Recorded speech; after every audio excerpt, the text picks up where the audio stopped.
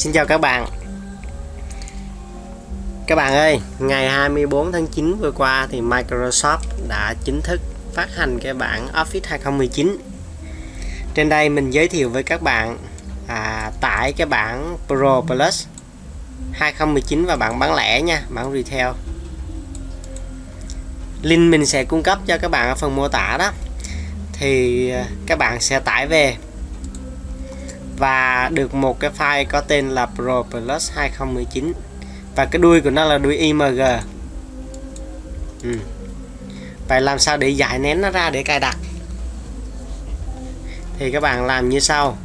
Các bạn phải cài cái WinRAR vào máy mình trước. Như máy ai cũng có thì phải. Các bạn chọn nhấp chuột phải lên. Chọn Open with nếu như máy bạn nào nó có sẵn cái WinRAR ở đây, thì bấm vào còn máy bàn nào nó chưa có sẵn WinRa ở đây thì bấm vào cái bên dưới này cho mình này. Nè. Rồi tiếp theo nếu như không tìm được cái WinRAR ở trong cái hộp thoại này các bạn nhấp vào More app này. À, và nhấp vào Look for. À, tìm kiếm một cái ứng dụng khác ở trên máy tính của mình.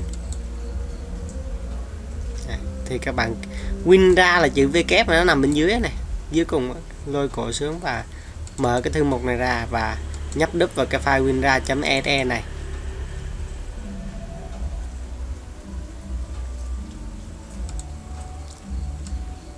Đây các bạn ạ. Khi cái WinRAR nó hiển thị lên thì nó đã mở cái cái cái file uh, img này ra và nó có ba cái mục này. Một thư mục và hai file này. Các bạn bôi đen cái này và kéo thả nó ra đây này. Thì chờ tí nó giải nén. Nó giải nén xong thì nó được ba cái mục này mình giải nén sẵn đây rồi này. Rồi và nhấp đúp vào setup.se để chạy thôi. Các bạn nhấp chuột phải lên và chọn à, chạy với quyền quản trị. Và cài đặt thôi mày thấy?